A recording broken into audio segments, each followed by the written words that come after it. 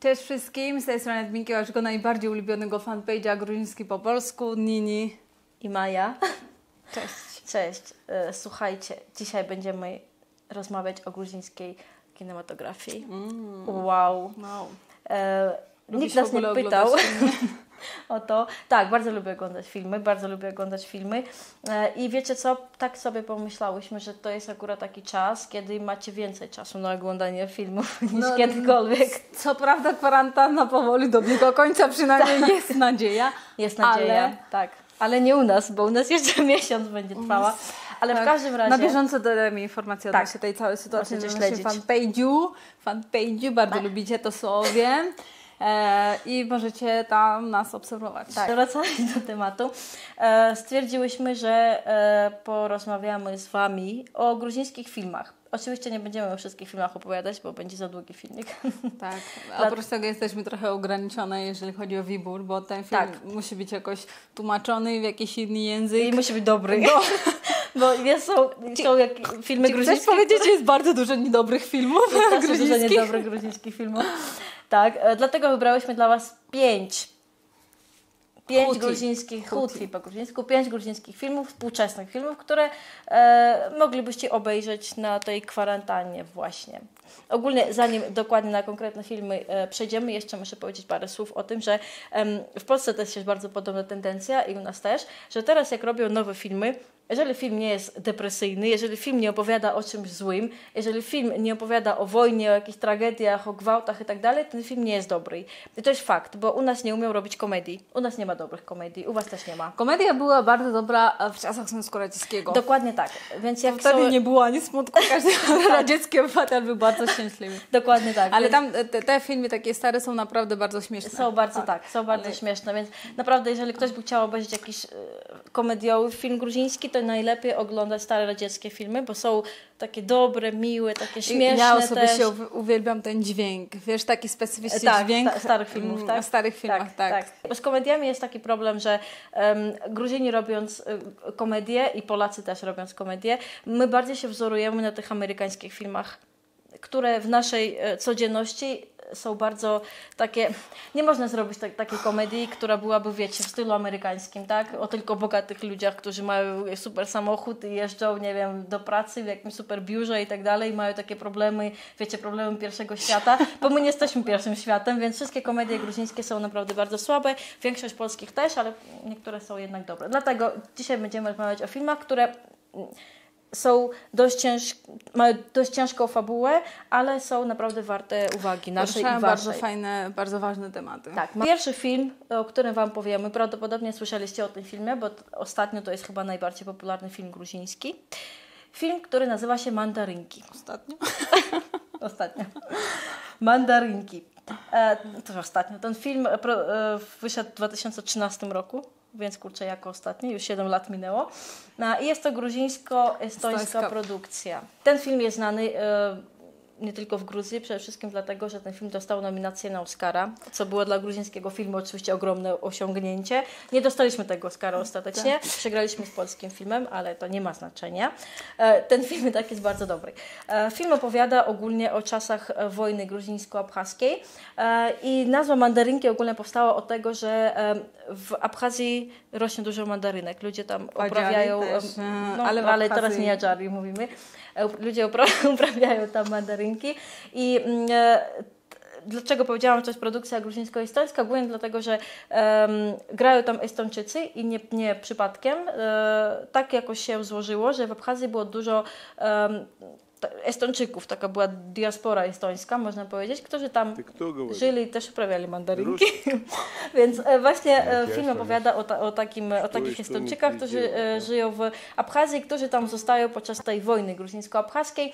I tak się zdarza, że do domu jednego z Estończyków trafia ranny Gruzin i ranny Abchaz, czyli ludzie, którzy walczą po przeciwnych stronach, ale znajdują się jakby w jednym domu. Nie będziemy oczywiście całego filmu opowiadać, żeby potem był sens, że po co oglądać ten film dalej, ale generalnie ten film jest naprawdę bardzo, mm, bardzo dobrze zrobiony. E, wiecie, ten film opowiada o tym, że e, wojna... Wojna wojną, ale ludzie... jakby po- Ludźmi. Ludzie Dokładnie jakby tak. nie mają nic, e, nic przeciwko, ludzie. tak? Że, że ludzie, gdyby nie wszystkie polityczne decyzje i tak dalej, ludzie Tak. by- żyliby szczęśliwie. Dokładnie tak. To, to jest bardzo no, trudny no. temat w ogóle. Nie, nie, nawet nie wiem, czy tak jednoznacznie możemy stwierdzić odnośnie tego konfliktu e, pomiędzy Gruzją a Tak. Abchazją, że to jest tylko polityka, bo to jest ten błąd, co popełnia bardzo dużo osób, Tak. że w tej wojnie widzą tylko dwie strony, widzą tylko Gruzję i Rosję. Jakby strona abchazka i interesy tak. Abchazów w ogóle tego nie istnieje i bardzo dużo młodych i starszych ludzi ma z tym problem i ja uważam, że to jest temat, co bardzo dużo ludzi nie ma wiedzy dokładnie i po Tak. prostu powtarzają takie bardzo modne zdanie, że Ro- Rosja Tak. jest okupantem. Rosja jest okupantem. e, Tak, Ale- to, to nie, nie ma żadnej Tak. wątpliwości, ale są pewne rzeczy, e, są Abchazowie, a nikt nie chce zrozumieć, o Tak. co im chodzi w tym wszystkim. Tak jak to słusznie powiedziałaś przed e, rozpoczęciem nagrywania tego filmiku, że ten film jest głównie o, o, o tym, że em, w wojnie bierze udział tłum, a e, wiecie, jeżeli człowiek porozmawia z drugim człowiekiem, to Tak. wcale już, już nie ma takiego konfliktu, takiej nienawiści. Więc bardzo polecałam film Mandarynki.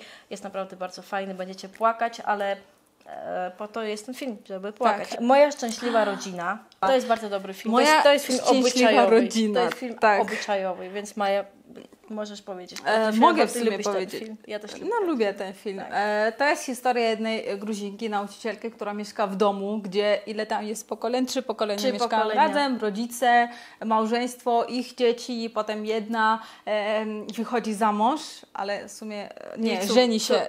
Córka wychodzi za mąż, ale syn też się żeni, oni, oni też mieszkają razem, Wszyscy. więc po prostu jedno wielkie zamieszanie, co bardzo też dobrze też pokazuje gruzińską rodzinę. Trochę jest taki model gruzińskiej rodziny, gdzie bardzo dużo pokoleń mieszka razem. Ale to, co nam się wi- może wydawać, że to jest tra- taka tradycja i takie fajne, że wow, w Gruzji bardzo dużo osób mieszka razem i tak dalej, to też ma swoje negatywne strony. Właśnie o tych negatywnych stronach e, jest mowa w tym filmie, kiedy po prostu ta główna bohaterka ma tak dosyć z, z braku w ogóle jakiejkolwiek prywatności, po prostu pewnego dnia pakuje się i się wyprowadza, wyprowadza z domu.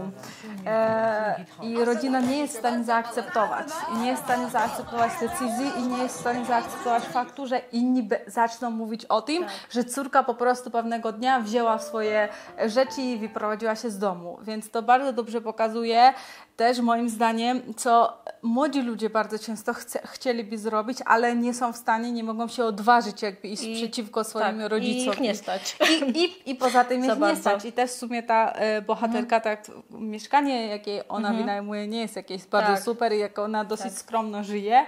E, więc to jest bardzo dobry film, e, żeby e, pokazać też te. Drugie stronie oczywiście no, polecamy Moja Szczęśliwa Rodzina. Jest też na Netflixie. Kolejny film, o którym możemy opowiedzieć, to jest Zakładnicy.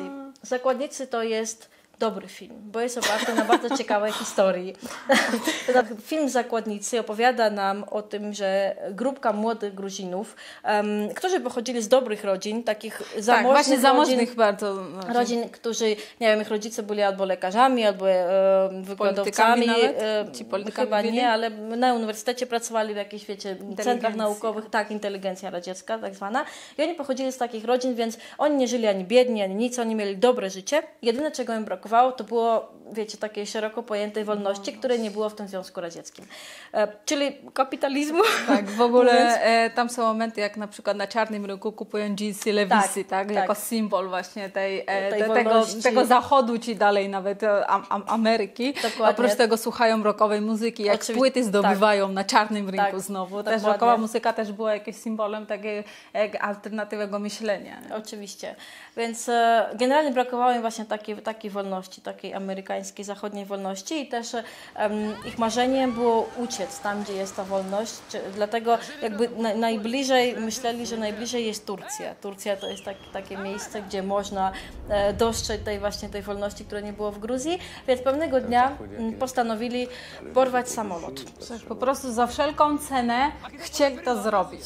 Za wszelką cenę chcieli to zrobić. Byli ogólnie bardzo młodzi, to było sześć tak, młodych mężczyzn i jedna dziewczyna. Dziewczyna, dziewczyna miała w ogóle chyba 19 17 czy 18 lat, tak. ona była bardzo młoda. E, chłopaki mieli do 25-6 lat, z tego co wiem, najstarszej. Były, I właśnie historia opowiada o tym, jak oni porywają samolot i próbują uciec z radzieckiej Gruzji.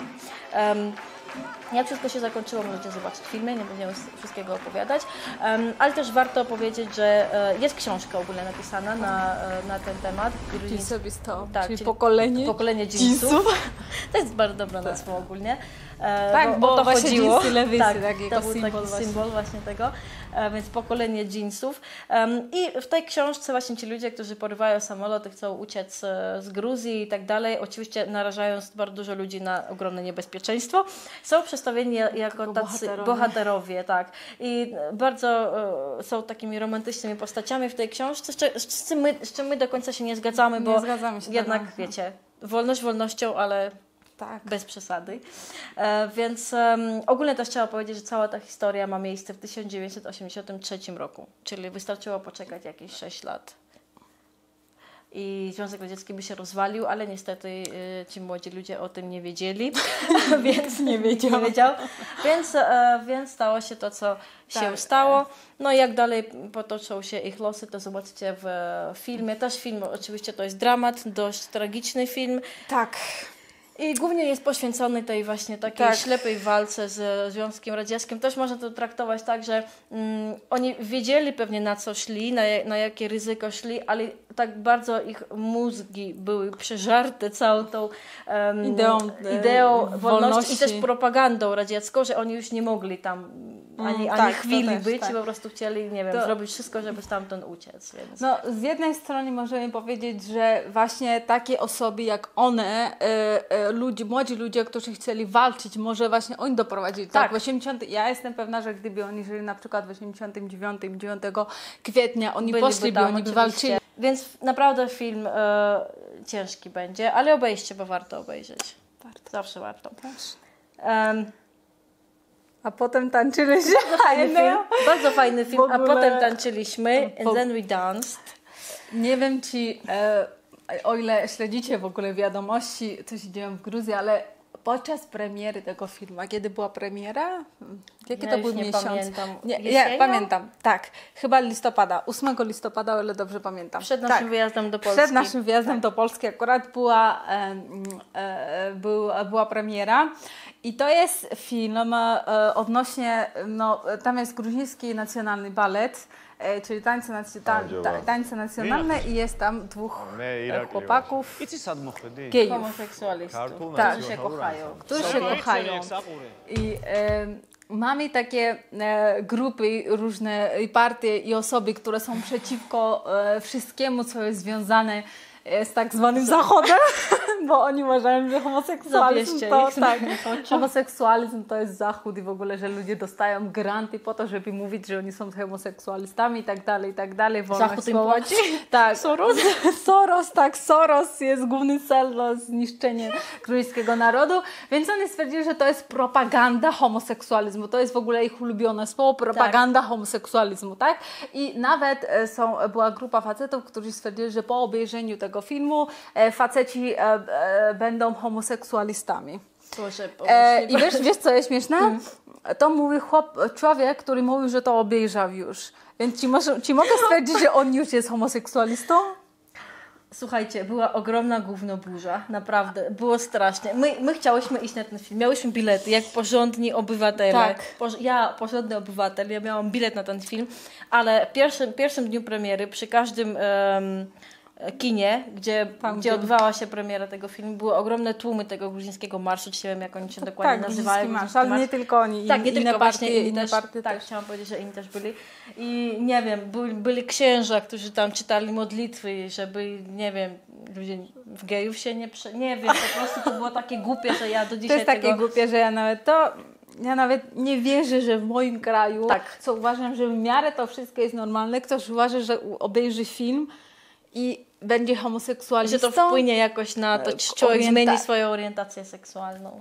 E, Ludzie, a, poza to jest, a poza tym, no, e, nie wiem. W każdym razie to było mega głupie, ale wracając do filmu. Film jest właśnie z 2019 roku. Opowiada o tym, że w gruzińskim balecie narodowym tańczą dwóch chłopaków, e, którzy no, mają romans między sobą. Tak. jak tam to się skończy, to zobaczycie w fi- filmie, nie będziemy do końca wszystkiego opowiadać, ale w każdym razie e, główne niezadowolenie ludzi wynikało z tego, że wiecie, z jednej strony gruzińskie tańce narodowe, gruzińskie stroje narodowe, mm, jakieś takie elementy... gdzie homoseksualizm. Elementy gruzińskiej kultury, a z drugiej strony romans dwóch chłopaków i wiecie, dla tradycyjnych Gruzinów to było nie, niemożliwe w ogóle. Było strasznie dużo spekulacji na temat tego filmu, że oż tam są takie erotyczne sceny, jak oni są ubrani w gruzińskie stroje narodowe. Wiecie co, my zobaczyłyśmy ten film potem w internecie, nie było Nie było, byłyśmy bardzo rozczarowane. Tak, nie było nic takiego, naprawdę. No, to jest jeden moment, gdzie, gdzie dochodzi, ale tego nawet nie widać. Ale wiesz, co było śmieszne? Tam było kwewry. Tak, tak, to było kwewry. To było przy kwewry, tam gdzie prawdziwi Gruzini mają ucztę. E, Tu jest kwewry i gdzieś oni, oni się kochają. Tak, to nie? kwewry to jest taka Kurde, amfora, amfora, tak w której- symbol naszej, naszej gruzińskości. Tak, w której robimy wino. I wiecie, i też mieli pretensje, że przy takiej świętej rzeczy. rzeczy. Ale tam właśnie nie ma żadnych takich scen. Nie ma ani żadnych to, To scen. nie jest y, film erotyczny. Tak, to nie jest film erotyczny po pierwsze, nie było... Właśnie najgorsze było to, że ludzie, ci ludzie, którzy walczyli z tym filmem, oni, oni tyle opowiadali tych różnych scen, nie wiem w ogóle skąd oni to wymyślili i żadnej tej sceny tam nie było, więc Fantazja. fantazja. więc ten film jest bardzo dobry. To jest taki smutny, ale romantyczny film, moim Tak, a, zdaniem. Wiesz co? E, Myślę, że gdyby, gdyby nie fakt, że było takie, te protesty były tak dalej, połowa ludzi, co obejrzało, nie obejrzało Tak. tego filmu. Ten film zdobył strasznie dużo nagród, naprawdę. Zro- tutaj jak robiłam notatki i jak zrobiłam screeny wszystkich, to mam trzy, trzy strony z nagrodami, włącznie z głównym e, aktorem, który tam grał. On dostał bardzo dużo różnych nagród na europejskich właśnie kinofestiwalach, więc wiecie, po prostu tak nagrody nie rozdają, z tego, co, z tego co wiem. W ogóle produkcja, produkcja to jest Gruzji i Szwecji i nagrał, reżyserem tego filmu jest Lewan Mm, Szwecja. Zachód. Mm, E, zachód. Mm. Lewan Akin. E, To jest taki reżyser, który ma gruzińskie pochodzenie, ale się urodził w Szwecji, tam się wychował i tak dalej, i tak dalej. Mm, utalentowany młody człowiek. Więc polecamy ten film, jeżeli się nie, bo, nie boicie propagandy Że się zachodniej. nie boicie, że wszyscy będzie się homoseksualistami Tak, ale to jest piękny film. Opowiada jednocześnie i o e, tańcach narodowych, bo tak naprawdę Tak, tam można, są... e, można kochać swoje tańce narodowe, będąc Tak. na przykład gejem, albo też tam, tak. e, też tam ci tance, tancerki nawet na przykład, które są, Mhm. nie mają nic wspólnego z taką ideą, Dokładnie że tak. kobieta i facet na w ramach tańcu się nie dotykają i w No, ogóle, więc po prostu tak, to są tak. takie zwykłe kobiety, które palą papierosy, piją, Tak. uprawiają... Nie Tak. wiem, bo ostatnio ktoś zwrócił mi uwagę, że używam, więc już się boję wszystkich cokolwiek To nie powiedzieć. słowo. No, E, więc tam pokazują, że tańce narodowe przedstawiają nam trochę inną rzeczywistość o Gruzji, a jakby jak e, tancerze zdejmują te swoje stroje narodowe i idą sobie dalej, to Tak. żyją normalnie. Wszyscy jesteśmy ludźmi i możemy kochać Tak. nasze, nasze tradycje, nasze narodowe tańce, mimo naszej orientacji i mimo naszych poglądów na pewne tematy. Tak, to się nie wyklucza. Absolutnie. O to chodziło w tym filmie. Ostatni film, o którym chcę Wam powiedzieć, to jest film Shindisi. Słuchajcie, Shindisi to jest nowy film, zupełnie nowy, nowy i szczerze mówiąc nie mogę Wam powiedzieć, gdzie możecie go obejrzeć, bo ja przeszukałam wszystko i nigdzie nie było. Można iść do kina? W Polsce wątpię. W każdym, razie, w każdym razie niedługo się pojawi na pewno w internetach, ale na razie nigdzie nie ma, więc po prostu zróbcie sobie apetyt na ten film. E, Ten film jest też o bardziej tak o ciężkiej tematyce, jest dotyczący wojny 2008 roku z Rosją i opowiada nam, Shindisi ogólnie to jest nazwa takiej wioski, która znajduje się niedaleko Tbilisi, to jest między Gori a Tbilisi właściwie, bo wiecie, że w Gori były te główne działania wojskowe. I ten film opowiada o tym, jak już po tym, jak praktycznie cała ta wojna dobiega, dobiega końca i już są podpisane różne porozumienia pokoju między Rosją a Gruzją, Rosja nie bardzo się wycofuje z terytorium em, Gruzji i Osetii Południowej, czyli sama Czablo e, i opowiada nam o jednej jednostce wojskowej, która została jako ostatnia pod wioską Shindisi i zatrzymywali Rosjan jak tylko mogli. To, to byli młodzi chłopaki, wiadomo, jak się domyślacie. I właśnie oni, e, em, o nich jest, jakby im jest poświęcony ten film. Myślę, że to nie będzie żadnego spoilera, jeśli powiem, że oni zginęli tam w tej, w Bohaterowie tej bitwie. Shindisi z Mirewi, Tak, bohaterowie Shindisi. w tej bitwie ostatecznie. To jest oczywiście, to nie jest wymyślona jakaś historia, to jest e, fakty, które faktycznie tam się zdarzyły. Jest to film bardzo, bardzo ciężki, bardzo smutny, ale też troszeczkę mo- możecie zobaczyć film bardziej realistyczny na temat wojny 2008 roku, bo do tej pory film, jaki powstał, film fabularny, nie dokumentalny, to jest film e, Pięć dni wojny. Pięć dni wojny? Tak. Nie, Pięć, pięć dni wojny się nazywa? Pewnie sierpnia. Tak, 5 sierpnia, Five Days of August. To jest hollywoodzki film, który jest bardzo zły.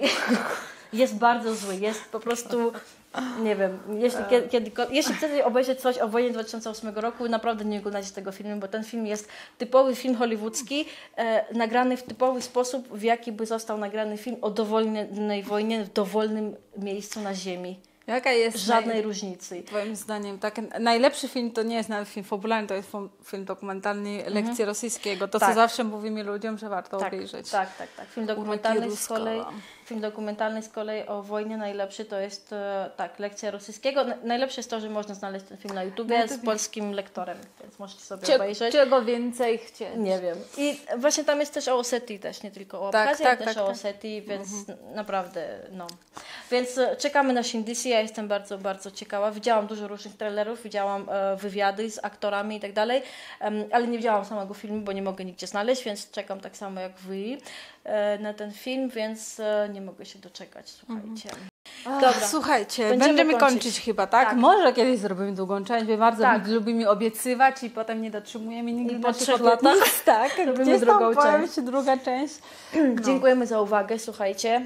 Może tych filmów znaliście, ale e, mamy nadzieję, że są osoby, które teraz się dowiedziały przynajmniej o jednym z tych filmów Tak, i tak. mamy nadzieję, że komuś pomoże zabić czas podczas tej Tak, kwarantanny. dokładnie tak. Więc miłego oglądania Dajcie- nas i filmów też. Dajcie znać w komentarzach. Tak, czy zobaczyliście, czy znacie ten film i tak dalej. Em, I co? I Do zobaczenia w następnym filmiku. Pa!